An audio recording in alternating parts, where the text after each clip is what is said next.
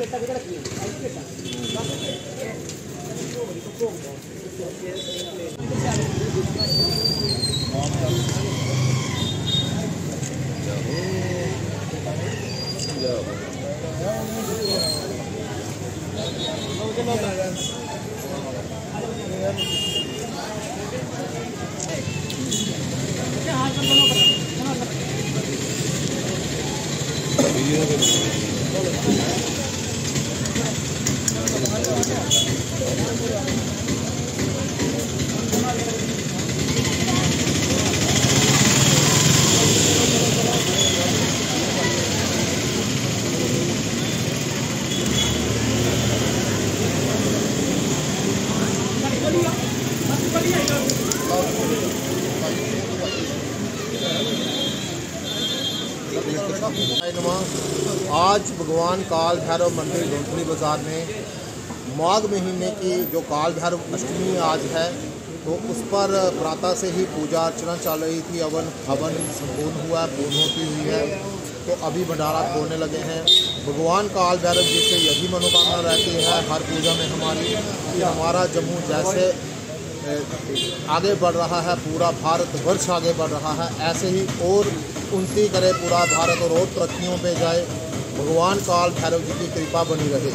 बहुत खुश नसीब हैं हम सब की भगवान काल भैरव जी का आप भैरव मंदिर जो जहाँ पे प्रकट है यहाँ पे बना हुआ है भैरवनाथ के तीन ही मंदिर हैं जो स्वयंभू हैं।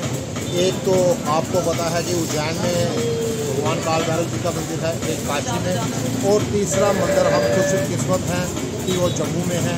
और हम दिन रात भगवान काल भैरव जी से यही प्रार्थना करते हैं, क्योंकि भगवान शिव के पाँचवें रूप होने के कारण रुद्र रूप है भगवान शिव का ये पांचवा स्वरूप है।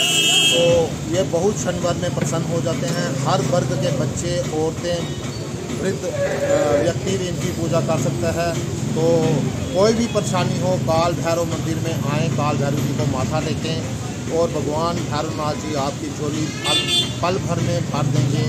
ऐसी मनोकामनाएँ भी है और हमारी, हमारा विश्वास भी है कि भगवान भैरवनाथ जी को किसी को भी खाली हाथ नहीं जय भारत